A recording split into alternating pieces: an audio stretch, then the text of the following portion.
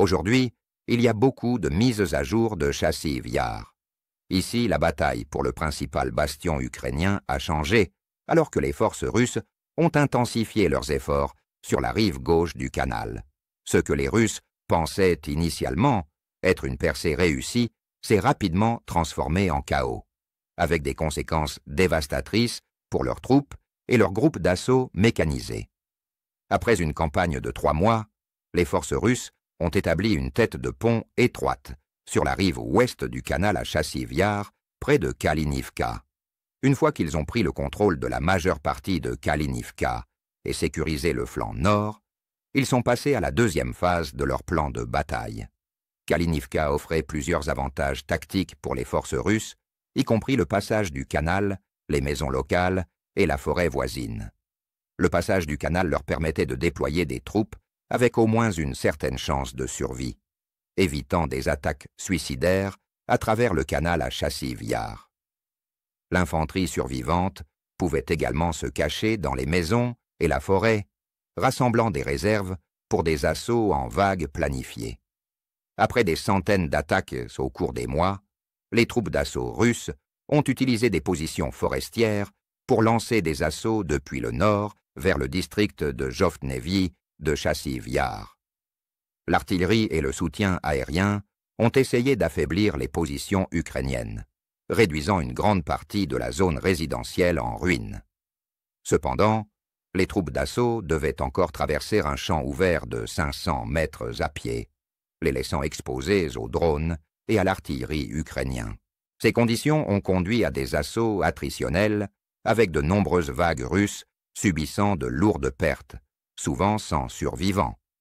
Les forces ukrainiennes dans la région ont reconnu cela comme la route logique d'attaque russe, étant le seul moyen de frapper le district de Jovtnevyi.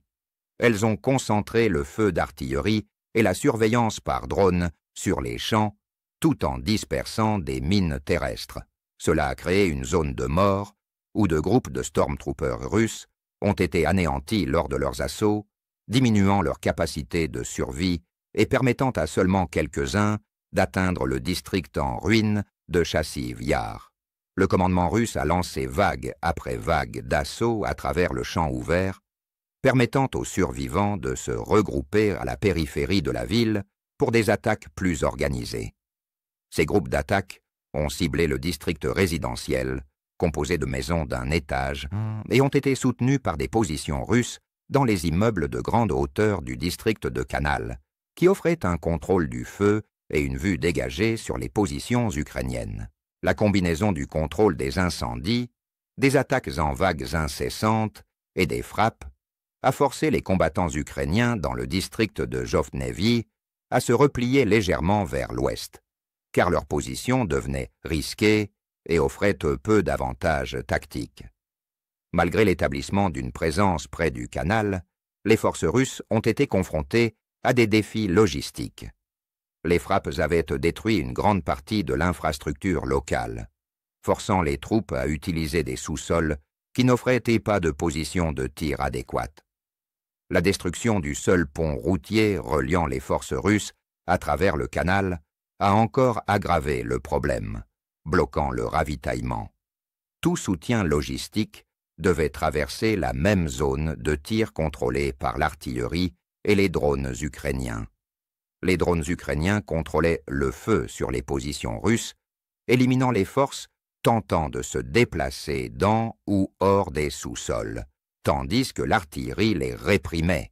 Les commandants russes ont négligé les problèmes logistiques, supposant que les forces russes, dans les sous-sols du quartier résidentiel, avaient sécurisé la zone et que les assauts mécanisés pouvaient aller vers le centre-ville une colonne de 7 BMD-4 transportant 50 soldats d'unités aéroportées spécialisées a été déployée le long du remblai ferroviaire et du pont voisin au nord du district de Jovtnevi.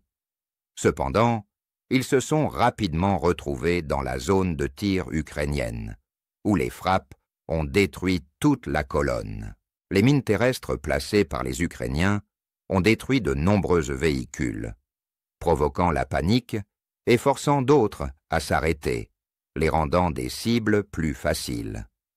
Les drones FPV ukrainiens ont ensuite attaqué les restes en progression, soutenus par l'artillerie, et la colonne russe a été anéantie avant d'arriver au pont. Globalement, les développements autour de châssis Viard soulignent l'incapacité russe à consolider le contrôle, aggravée par la prévisibilité de leurs attaques, que les Ukrainiens ont réussi à exploiter. La prévisibilité de leurs attaques a permis aux Ukrainiens d'estimer leurs itinéraires d'attaques prévues, détruisant leurs colonnes mécanisées sans gain territorial pour les Russes dans ce secteur.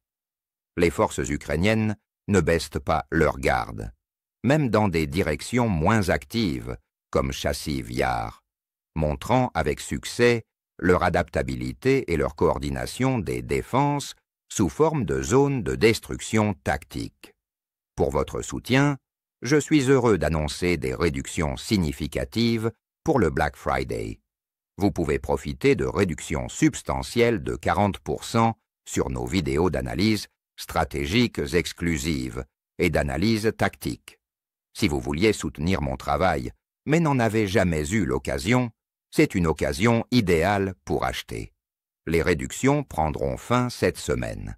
Alors, consultez le lien dans la description pour profiter de cette offre avant qu'elle n'expire. Votre soutien est grandement apprécié.